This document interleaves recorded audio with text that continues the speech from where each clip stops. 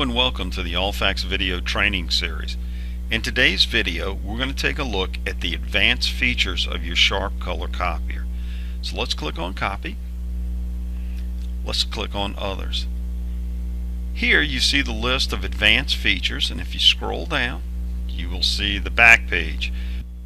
The card shot feature can be very helpful if you have to copy a driver's license, a medical card, or a student ID.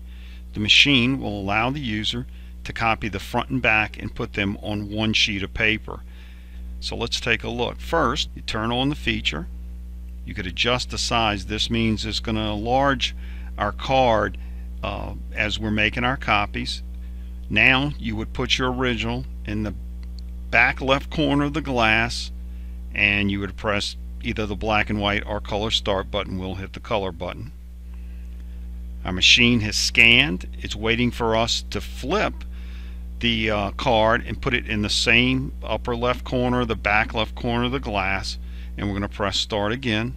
And when we're finished, we're going to hit read in. If we had multiple cards to uh, place, uh, like in a doctor's office, you might have a couple of cards per patient. But at this point, we have everything in we need. We're going to hit read in. The machine, as you can hear in the background, is producing our image or our copy and if you look at the image we have in the video you can see how it produced it.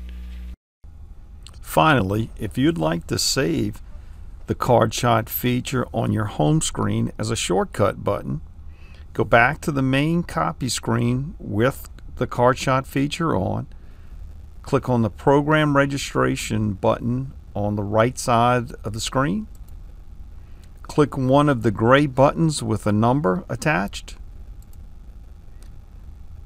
at this point, you'll give the uh, your button a name, and we're going to call ours ID copy.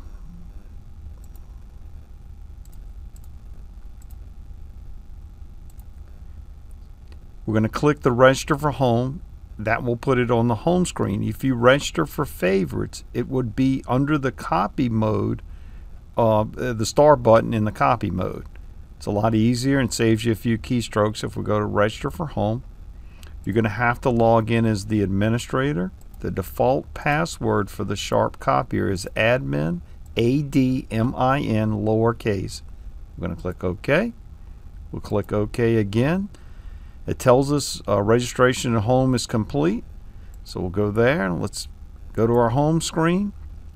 It's not on the screen of this particular machine on the front screen, but if we click to the second screen, there's our button right here that we created called ID copy. To make an ID copy, we'll simply click this button. The machine is set up and we are ready to go. That completes our video and thanks for watching. If you need additional information or support, please visit our website at www.allfax.com. You can also contact us at our main number at 504 443 0188. On behalf of the entire Allfax team, we appreciate and value your business. Thanks and have a great day.